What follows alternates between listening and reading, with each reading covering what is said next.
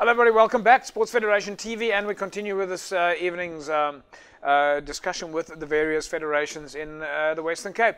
Talking to me now is um, Karina de Beer, the uh, National Secretary of Black Powder Shooting, as well as the Western Cape Provincial uh, Secretary of Black Powder. Karina de Beer, hello, welcome to Sports Federation TV. Thank you very much.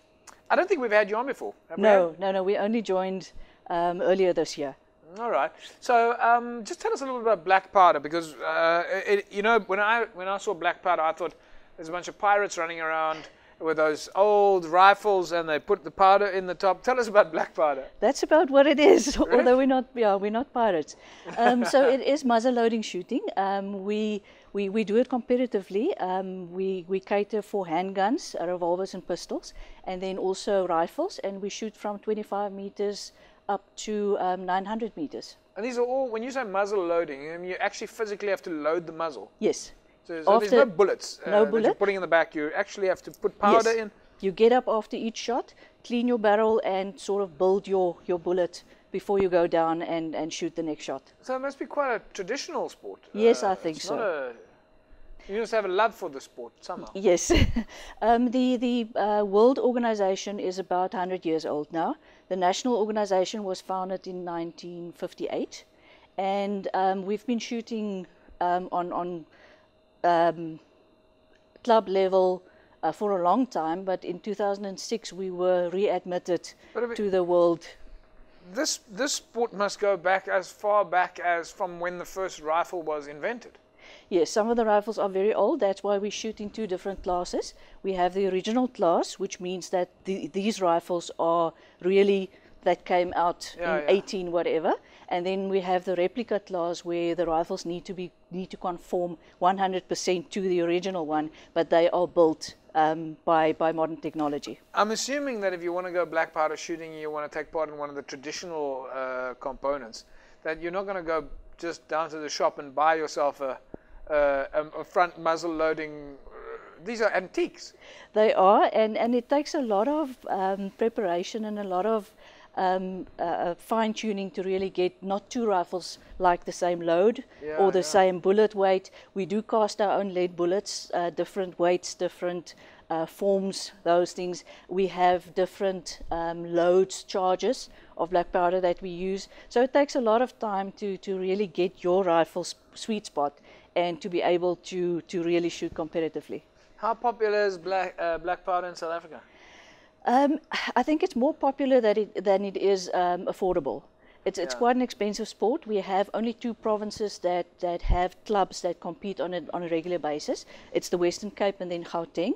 So once a year we have the national um, championships between the two provinces, and then once a year also we have a provincial championship here and a provincial championship in Gauteng. Uh, we have in the Western Cape about 40, maybe 45 members, active members, and well, um, in, in, in South Africa we have maybe 90. Okay. Now I see you wearing a Proteas uh, blazer here, which means that you obviously affiliated with the SASCOC structures. That's right. Um, but the blazer says shooting. Yes. Uh, so are you are you guys affiliated as Black Powder or, or do you get affiliated as Shooting? How does it work from a national perspective? Initially, we were affiliated as Black Powder Shooting, but then they um, amalgamated all the shooting sports. Now okay. it only says Shooting. So you're part of an umbrella body. Yes, that's right. All right, and then that happens. That that obviously filters down into provincial level where you in theory, you should have an umbrella body and, and so on as well. Yes, we belong to the South African Bisley Union, which is then directly affiliated to SASEF. And um, they, there is, we also do Bisley style shooting where we do the long range shooting. So uh, everybody who shoots um, in the Western Cape uh, Black Powder Association or in the clubs as well as the national clubs are affiliated to the are uh, affiliated as individuals it's, to SABU as well. It's obviously not a, not a sport for kids. Unfortunately, no. Yeah. Firstly, the, the rifles and things are very heavy. Secondly, you need to have uh, competency certificates and all those kinds of things. We have been to um, Hungary uh, in August. Uh, we took two juniors. The yeah. one was in grade 11, the other one was in grade 12. And with the permits, although we do not need licenses for the for the muzzleloaders, you need the, the competency, and we needed to apply for for permits, and they couldn't get the permits on their name. So the seniors had to had to So, apply for the permits for those rifles. Are you saying that in terms of, of, of, handgun rules, regulations, and so on, you don't need a license for front loading? Is, why? Why is that? It is deregulated according right. to the Firearms Act. It is Okay. described as not a Not exactly though your perfect self-defense weapon. not at all. I mean, you're not going to be racing down when there's a burglar in the kitchen and No. quickly, quickly front uh, hold up the powder and, It takes about two minutes from when you get up when you until you go and by down then to your shoot. microwave and your toaster and absolutely. every- oh, it's all gone. yes. Okay, your TV's got a. Yeah. still you okay? the, the only the only um, uh, uh, muzzle loading firearm that, that will need to be licensed in the very near future is the cap and ball revolver Okay. because it can load multiple chambers. yeah, yeah. So um, the Firearms Act is still um, under scrutiny, and Yeah. very soon that will be. Uh, we need it. We will need to to license those ones. All right. Well, you sent in a couple of pictures here, and I think uh, we want to we're gonna have a look here at, at, at, at some of these um, pictures, some of the the MLAIC event. I'm not quite sure where that is. Uh, maybe just uh, talk us talk us through this um, this picture here. What do- what do we see over here? Okay, so the MLAIC is the World Body for Muzzle Loaders Association's International Confederation. Okay. So we had the World Championship, the short range World Championship in Hungary. Um, Was the- this picture from Hungary? Yes. So that is Okay. where one of our teams, we, we, we took a team of six people. Four of the six was from Cape Town or Yeah. from, from uh, the, the Western Cape.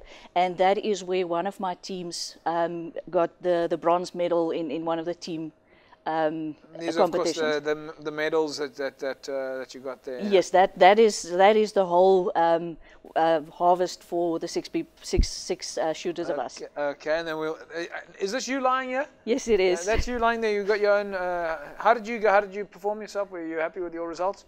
Yes, yes, I actually was very happy. Um, I came fourth in one of the competitions, and I was um, uh, I got a silver medal as part of the team um, in one of the others. Now, this was the picture that surprised me the most. Uh, was the um, uh, how many competitors you actually had at this event. This was event was the, the World Champs up at the West Coast. Yes, that was 2013. We had uh, just short of 100 competitors for long range. Um, when we go to short range competitions, there is um, anything between 500 and 600 competitors. 500, that is- 600. I mean, that's yes, that's a, that's quite a lot. And, And this the- was the World Championships that was held here in Cape Town. Yes. I must be quite proud of, of being able to do that. Did you have to bid for it? Um, there are only a number of countries that can host because um, the the uh, availability of that specific long range Yeah. is is a problem. But we had the previous time we we hosted it in 2007. And we hosted it in 2013 again. So yes, we do have to bid, and in the end, they look at a number of things like experience and infrastructure and facilities. And Karina, just finally, for the folks that want to come and watch or that are interested in what they heard tonight, where where where would they find out more about Black Powder? we have the um, national body's um, website, which is uh, www.bpsu.co.za. That Okay, stands well- for Black Powder Shooting Union. All right, well, we'll, make sure that we put it on the screen right here. Um, Karina De Beer, thank you very much for joining us. Um, good luck for 2017. We're going to have to, uh, we're going to have an interesting year for Black Powder. We're going to see how you guys do. Thank you. We're sending a team to Australia next year. Oh, well, I'm sure you guys are going to do fantastic. Thank you we always much. beat the Aussies. oh yes, that's the main thing. We beat the Aussies, we're happy, yeah. Thank you very much. Thanks, Karina. right, folks, uh, black powder shooting. Now we know it's front muzzle loading. I didn't know that. How interesting is that? Um, right here on Sports Federation TV. Of course, the show that looks after the federations in the Western Cape. In fact, we're the only sport uh, show in the country that has a, um, a, show that is dedicated to the federations. Uh, when we come back, we'll be talking uh, to uh, Donna Lowry from um, Cape Town Gymnastics. Now, Cape Town Gymnastics, of course, part, forms part of the uh, the gymnastics movement in uh, South Africa. We'll talk to you more about that in a second.